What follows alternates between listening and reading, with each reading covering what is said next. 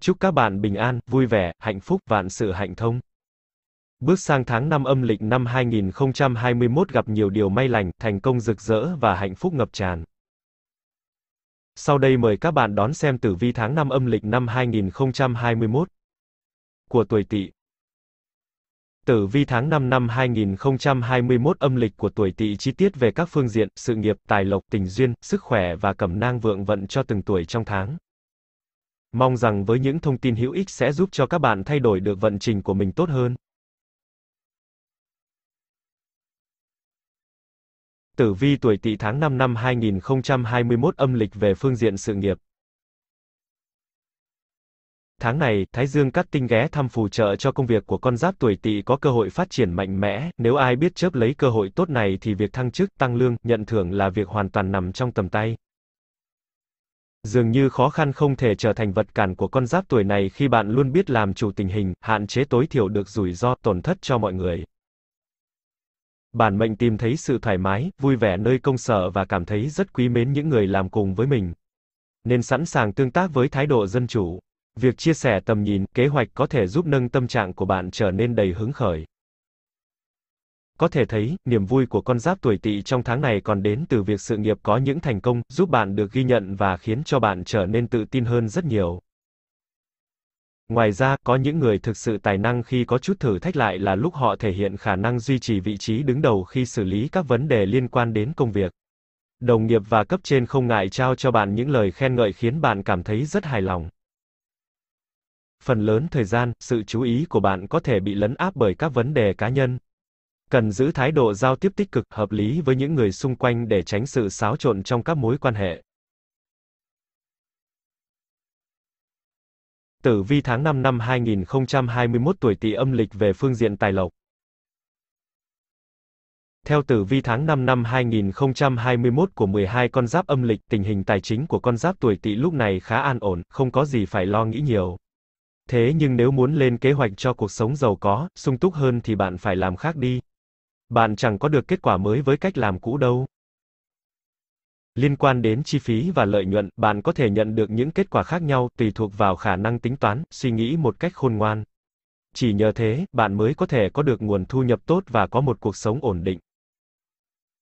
Thái độ thờ ơ với những cơ hội đầu tư của mọi người đang nói đến không hẳn là điều tốt. Có thể vì bạn muốn an toàn, sợ bị lừa nên cố gắng tránh xa. Thế nhưng thái độ đúng ở đây là bạn cũng nên tìm hiểu, hãy dành thời gian để khai thác thông tin về chúng vì đó là cách để bạn gia tăng lượng kiến thức về tài chính cho mình.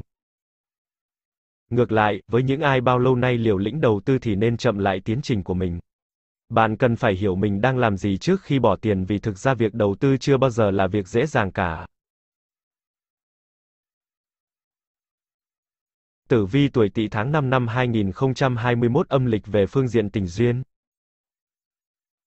Theo tử vi tháng mới, chuyện tình cảm của tuổi tỵ và một nửa của mình cũng chỉ ở mức trung bình, khi hai người bắt đầu tạo ra khoảng cách trong giao tiếp vì cuộc sống quá bận rộn. Bạn đừng quên làm mới tình cảm bằng những cử chỉ yêu thương hay những buổi hẹn hò riêng tư nhé. Đừng vì mải mê với công việc mà bỏ bê, thiếu sự quan tâm tới người ấy đấy nhé. Tốt nhất là nên thực hiện những lời hứa của mình để tránh thái độ thất vọng của nửa kia. Người độc thân vẫn đang rất kiên nhẫn trong việc kiếm tìm một nửa của mình. Dù chưa có dấu hiệu khả quan nhưng bản mệnh khá lạc quan và luôn tin tưởng rằng có ngày sẽ gặp được người phù hợp với mình.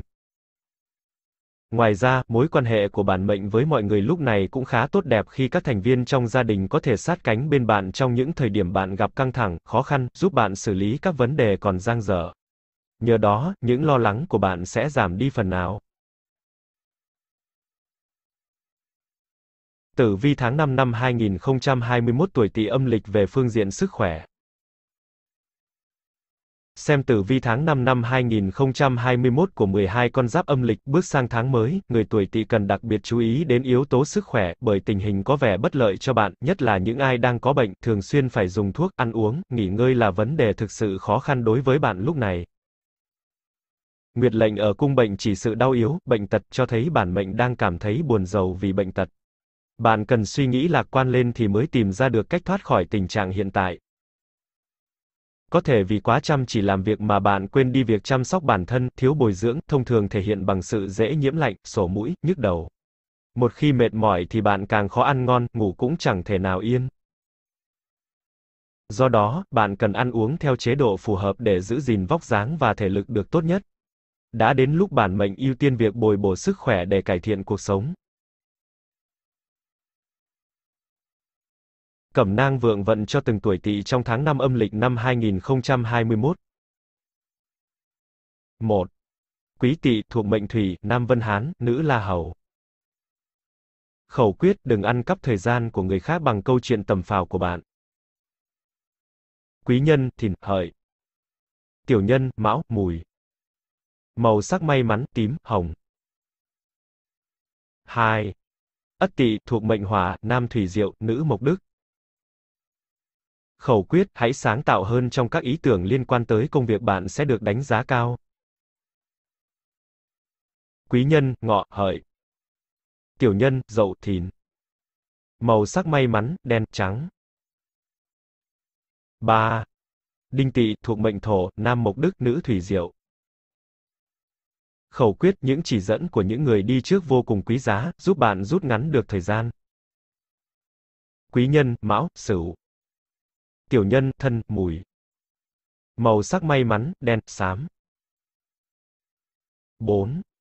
Kỳ tỵ, thuộc mệnh mộc, nam vân hán, nữ la hầu. Khẩu quyết, dù lạc quan nhưng cũng cần đối diện với thực tế bạn nhé.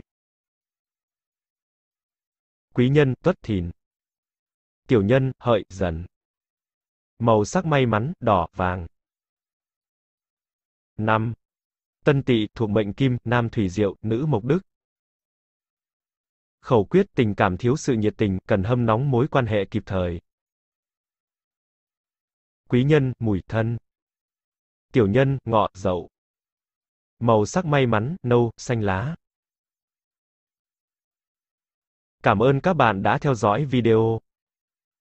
Xin chào và hẹn gặp lại.